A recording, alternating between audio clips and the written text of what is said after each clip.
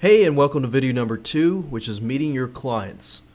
The purpose of this video is to help you get an understanding of your client, what their expectations are, who they are, what kind of services that they are selling, and how you can help them with a website. So how you can set up the website. So right now we're basically doing some planning in video number two, as well as figuring out whether or not this client is a good client to work with or not. Some clients you actually want to avoid, and in fact, I'll tell you that in this particular video.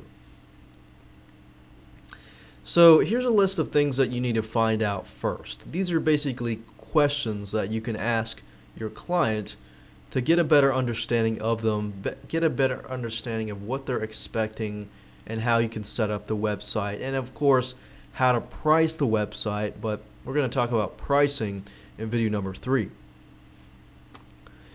So here's what you're going to need to find out. You're going to need to find out their company, who they are, their mission statement, and what they sell. And of course, you're going to need to figure out whether or not they sell a physical product or a service. Physical product can be, or a physical product, or an online product, or an intangible product. So a physical product, as you know, is something that you can hold in your hands.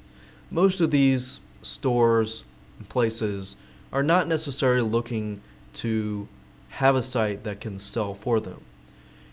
They are looking for a website, or maybe they don't know that what they're looking for, but I'm just telling you this now.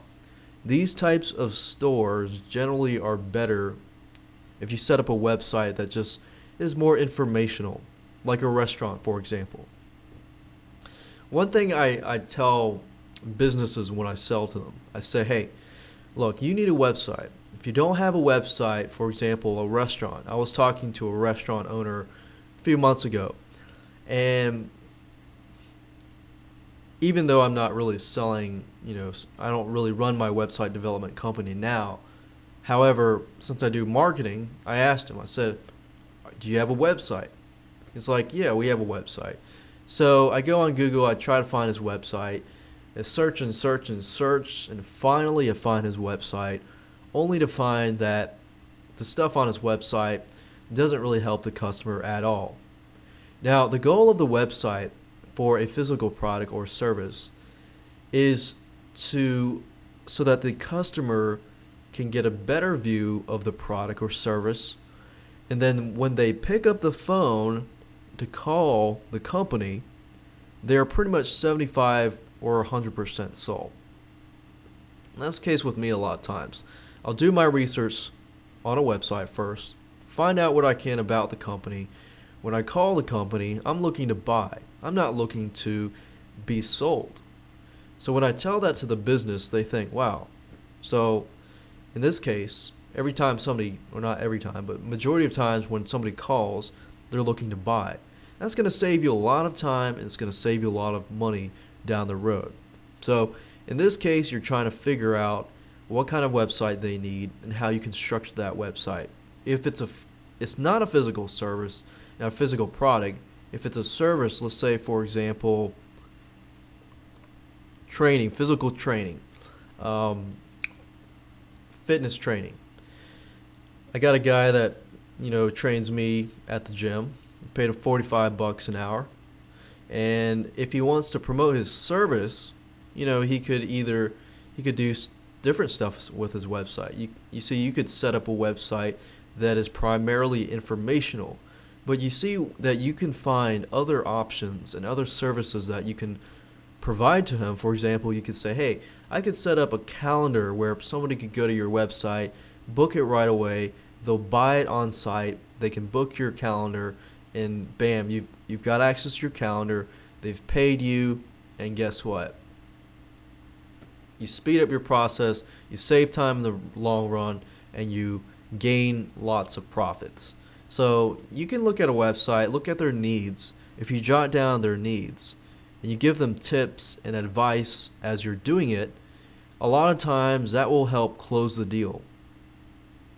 Because they're thinking, wow, this, this person's asking me all these questions giving me all this advice and I haven't even paid yet. You know, so right now you're building trust. Asking these questions will help you build trust. Then the second question you need to ask is who is their audience and how do they think? All right, so if you're thinking of physical product, a restaurant, who is their audience? Basically, people that are hungry people. And how do they think? Well, they want food. They want to know what kind of food do they provide. Well, if you have a website with a video on it that showcases maybe the, the bar or the, the video or the buffet or the buffet line, the dishes that they're providing, things like that, think about that. Somebody goes to the site, he wants to order some food, he sees the site, he knows what he wants, he calls up and makes a deal, goes up, picks it up. Or they could go to the restaurant, figure, eh, I don't really want this, and walk out. So if you tell that to the business client, most of the time they're going to think, "Wow, yeah, I definitely need a website." Now, it's the point your your goal here is not really to convince them that they need a website. If they're not convinced by the time you've asked all these questions and stuff, then I would say move on. This client is not a good client to work with. In fact, I don't work with all the clients that come to me.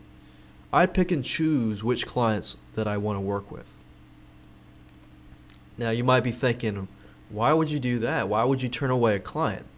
You know, I've, I've turned away clients that have, you know, pay me a thousand bucks up front or two thousand bucks up front, mainly because I have found out that working with these specific clients, I'm losing time because you know they're too nitpicky. They're I'm not living up to their expectations and things like that. If that's the case, then you're losing out on potential profits and potential clients that you could be having. All right, so third question is how fast do they want it to set up?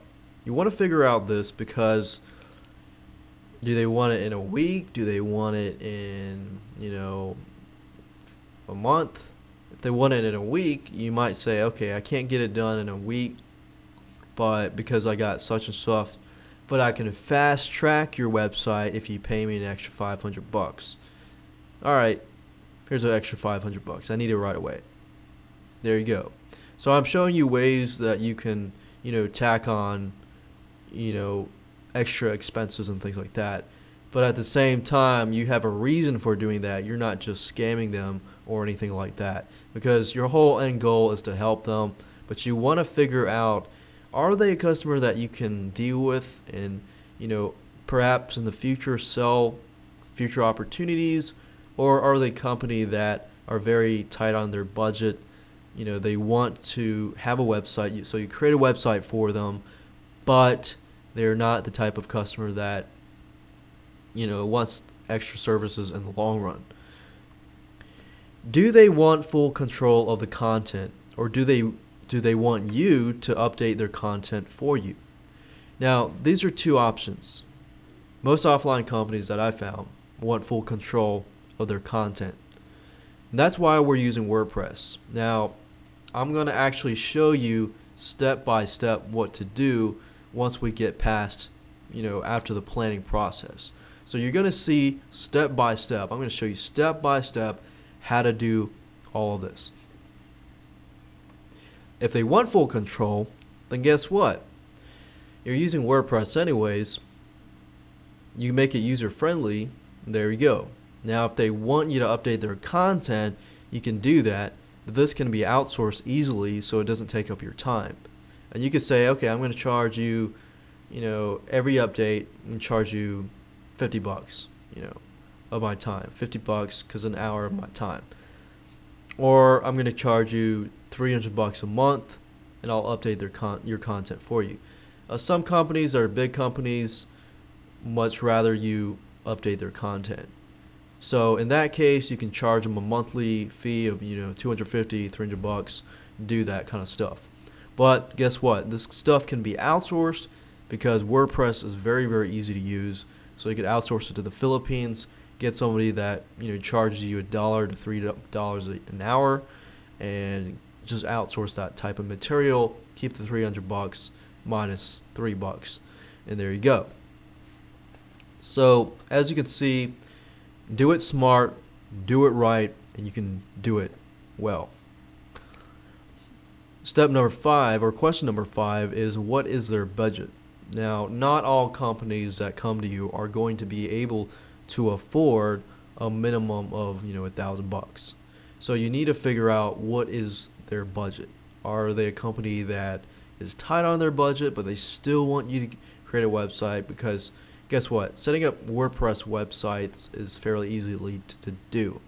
But if they have a limited amount of budget and they are on a tight budget, then you gotta keep in mind and tell them that you know there's only so much that you can do on you know 500 bucks or something like that.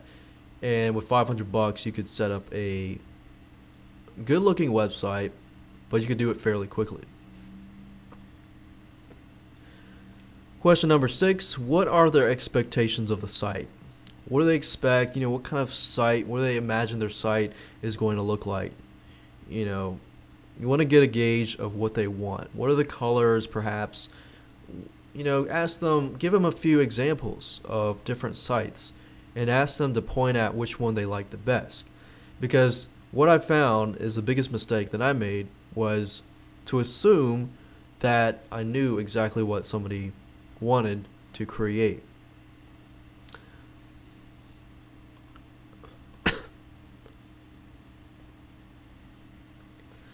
All right, so let's talk about opening future opportunities.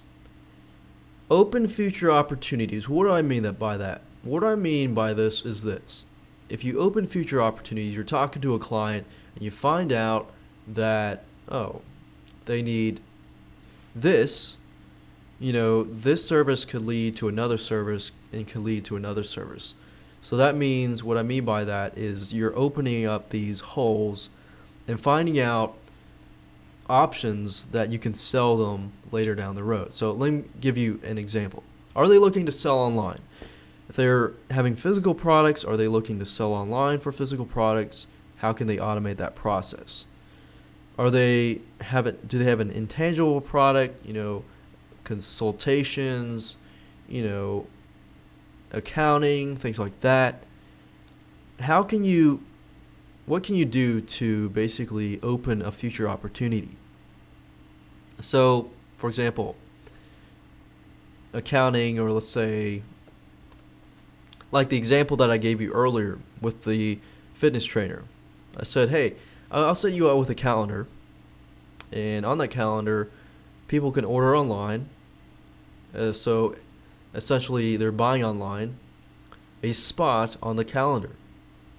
So if you can figure out if they have opportunities to sell online, that gives you the ability to do shopping cart setup, to set up their site to do that and of course it'll increase their profits as well. Because they can say hey they can tell their clients and say hey i've set up a website i've set up a calendar just go to the calendar register your spot you know pay me the money or pay me it later but register the spot and there you go. Or you could tell them you could do a manual process the way that they're doing now and they could spend half an hour on the phone doing that or they could automate automate the process or semi-automate the process. So as you can see, you're making their life easier. And your point is asking the questions and understanding their process of how they're selling so that you can make their process easier. Build a list. Can they build a list? You know, a clientele list, sell to that list can they set up an autoresponder? If they want to build a list, can they do it online through emails? Which, guess what? You can set up an autoresponder, charge for autoresponder services, mobile marketing. You can set up, you know, account with sendtextalerts.com and do unlimited texting through that and help businesses do mobile marketing and maybe charge them a fee. You know, let's say you could charge them a monthly fee you know, $97 a month for unlimited texting, which is a steal because most sites out there actually charge per text. Then you want to figure out can video presentations help them? Let's say they have a website with a video on it. For example, I was consulting one of my friends um, a while ago, now that I do marketing, I was, I was saying, okay, he runs a health insurance. He's a health insurance broker, and he also also does life insurance as well. So I was thinking, okay, you could set up a video presentation that shows people, you know, how they can get approved by health insurance companies. Um, because one of the biggest problems, especially for self employed people, business owners, is getting health insurance. So I was telling him, set up a video presentation, you know, this and that. If you think about, can this company create video presentations? Because if they can, you can help them create video presentations. Therefore, you include video marketing in it.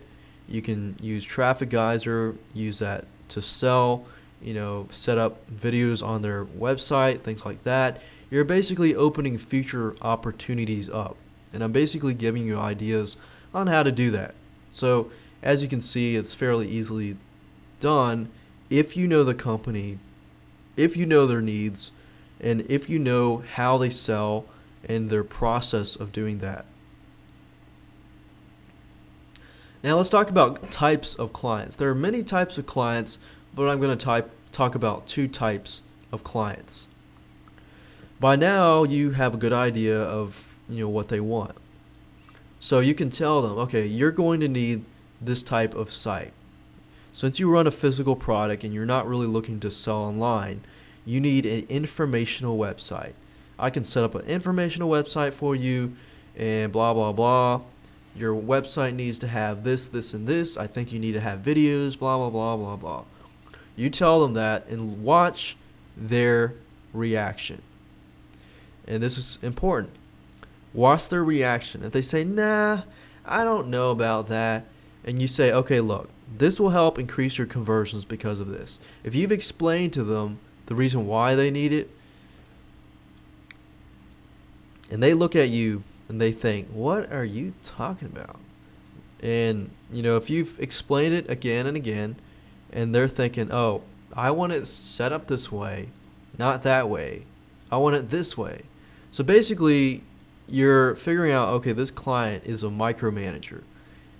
Micromanagers are the worst people, clients to deal with. In fact, usually once I figure out that a client is a micromanager, then I pretty much, you know, shut off the, transaction because what I found over the years is micromanagers take up a lot of your time, they waste your time, plus you lose on potential profits. You lose on potential clients that you could be, you know, working with in the long run. You're looking for a client that needs your help. They're seeking your help as a website developer, as a marketer. They're seeking for your help. And yeah, it's it's okay if they, they tell you, okay, I like the site to look like this, um, and they have questions. But if they if you get an, a hint that you know, for example, I want this flashy this and that with blinking lights. Now I've talked to a lot of friends of mine who own website development companies, and they also a lot of times get approached by clients saying, you know, I want lights, I want videos that have blinking lights. I go, I want this word over here blinking, this and that. I want a flashy banner, things like that. You know, as a marketer, you know what sells and doesn't. So you have to tell them straight up. But if they're still persistent about that, then I honestly would leave that client and just I would jet really, because those types of clients are generally, like I said, they waste your time and waste potential profits. So you need to figure out are they nitpicky or are they just the type of person that knows what they want? if they know what they want, but they need some guidance and they need you to help them understand why you are offering or proposing what you're proposing, and then they said, oh, okay, okay, I get it, I get it. They know what they want in terms of the look, that's fine. But if they're nitpicky in terms of not just the look, but also, you know, everything else, like I'm right, you're wrong kind of idea, then you need to leave that client alone. Not to say that you're right all the time, but you are the website developer. You're the expert. You know what you're doing. You're the marketer, you know what you're doing. Unless you're helping a marketing company, which, by the way, most of the times they'll set up their own websites. But my point here is just to help you so that you don't have to run into these types of clients and waste your time. Unless, of course, you're charging, you know, 70, 50, 75, or $90 an hour. If you're doing that, that's fine. These types of clients are great because, you know, you can change this and change that. But you just got to keep in mind your pricing structure and you could be losing potential clients because yeah, I mean, you could spend 10 hours or 20 hours on a 50 50 dollar per hour. That's a thousand bucks. That's fine. You could outsource that kind of stuff, but you honestly probably would be earning a lot more by going after more clients. So that's just something to keep in mind. So, will it save? Will they save you time or will they waste more of your time and lose potential clients? And can what they are asking be outsourced? You know, if they're the nitpicky type, that's fine. Just keep in mind that they're probably going to stick with you for a long time. Or they're probably going to be pretty upset about you and you know make give you lots of headaches and things like that. So can what they are asking be outsourced? If it can be outsourced, then maybe you can just give them access to your outsourcer and have them work with them.